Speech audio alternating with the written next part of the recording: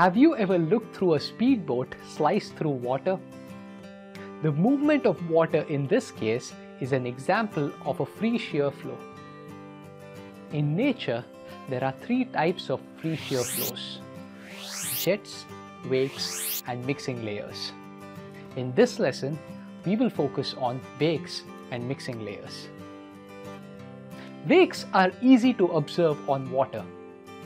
All we have to do is to watch the water trails left behind by a moving boat.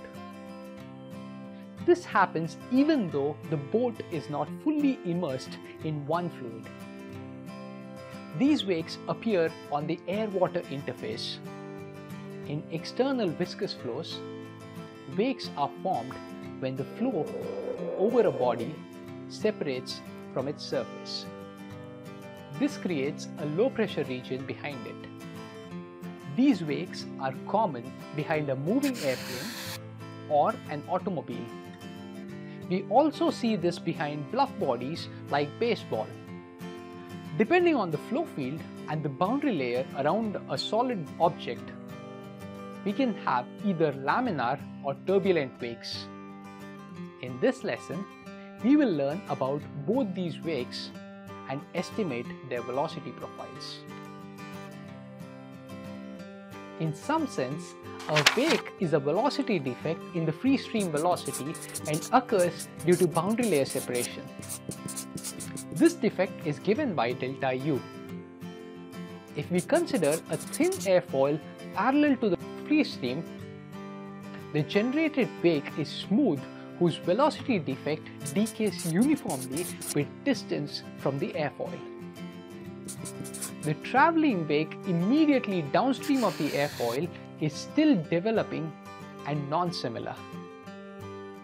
However, it becomes developed further downstream of the solid object and in this region we consider the velocity profiles to be self-similar.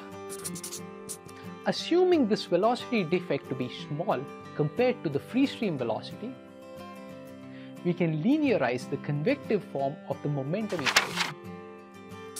We use approximate boundary conditions to obtain the following analytical solution for laminar wakes. Here, the constant c is obtained by equating the overall drag force to the momentum flux effect. Based on this, the centerline velocity of the wake decays at the rate of square root of x in the far field region. The drag force estimated from the momentum flux defect is equated with a known value to obtain the final solution of the velocity defect. It is observed that the wake velocity defect is proportional to this drag coefficient. To solve for the velocity defect, we need to know the value of the drag coefficient. For example, in the case of a flat plate, the drag coefficient is given by the following equation. Replacing this in the above analysis, we obtain the wake velocity defect for a flat plate. To understand the solution better, let's plot the wake velocity as a function of y, which is the perpendicular distance to a flat plate at different x locations downstream of the wake. For a constant value of x, the wake velocity increases from the center line to the free stream velocity. Moreover, the centerline velocity is continuously increasing as we move further downstream. In other words, the velocity defect decays further as the wake moves downstream. A similar approach is useful to analyze a 2D turbulent flow. Based on the similarity principle, the following conditions for a turbulent wake are obtained. Following an approach similar to the turbulent jet for the eddy viscosity formula, we estimate the velocity solution in the form of a Gaussian profile. The constants in the equation delta U max and y half are estimated from experimental results. Sreenivasan and Narasimha in 1982 proposed the following growth rate expressions to obtain these constants. The self-similar mean velocity defect is plotted against the dimensionless distance for a turbulent wake. This data was obtained from different types of bodies such as cylinders, screens and airfoils. These wakes achieve self-similar solutions after several hundreds of momentum thicknesses downstream of the bodies. For most turbulent solutions, we need to depend on experiments to obtain some solution. To obtain more accurate results, we turn our attention to high fidelity CFD simulations to analyze these free shear flows. So now that you've understood wakes, the next time you find yourself waiting on the runway for flights ahead of you to take off, you'd be more patient, right? You know your pilot is just watching to be far behind the wake of a previous flight to avoid its turbulent wake. A mixing layer is another type of free shear flow. A mixing layer is formed when the two flow streams with different velocities mix freely. A smoke from the chimneys of an industrial plant mixes freely with the atmospheric gases. At the mouth of the chimney, the flow is regarded as a round turbulent jet. In fact, the region immediately downstream of the planar jet is regarded as a mixing layer. Moreover, in the far field region, the smoke interacts with the moving cloud as a mixing layer. Another example of a mixing layer is when air blows over the surface of a lake.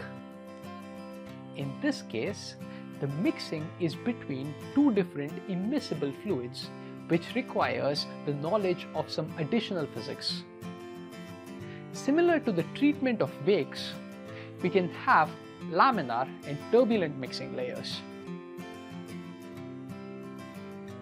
Let us analyze a plane mixing layer first. Consider two fluid flows with properties given by subscripts 1 and 2 are separated by a thin flat plate. As the mixing layer expands, the fluid viscosity smooths the velocity profile leading to the formation of an S-shaped shear layer.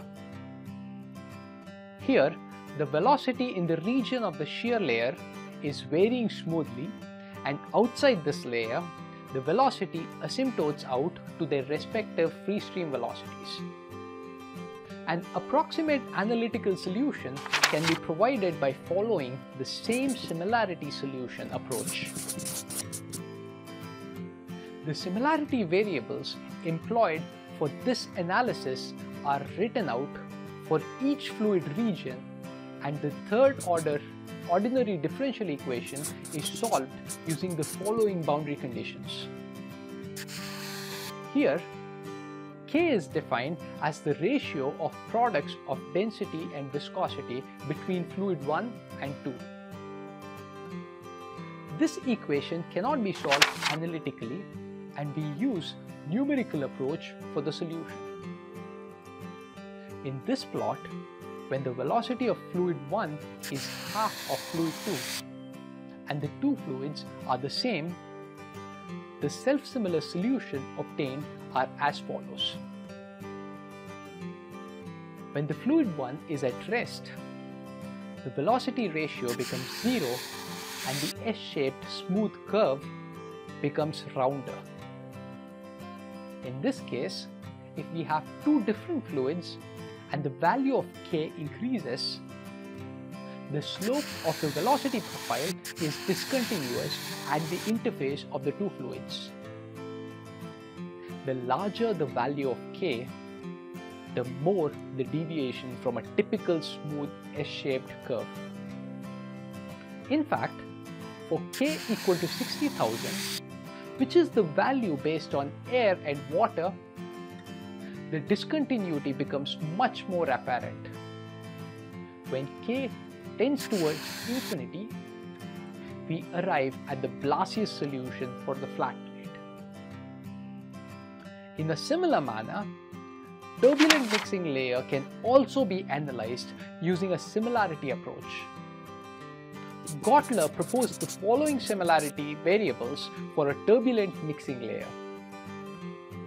Unlike the laminar case, these dimensionless velocities for turbulent case uses the mean velocity. Here, ERF refers to the error function and its definition is as follows. We define the layer thickness to be a point where U star becomes 0.99. Based on this definition, the growth layer is estimated as tan 7 degrees. From the similarity solution, the obtained plot shows the self-similar solution for turbulent mixing layer. Here, the x-axis is non-dimensionalized using the definition of shear thickness defined as follows. As observed, we again obtain a smooth S-shaped curve for the self-similar solution of the mean velocity.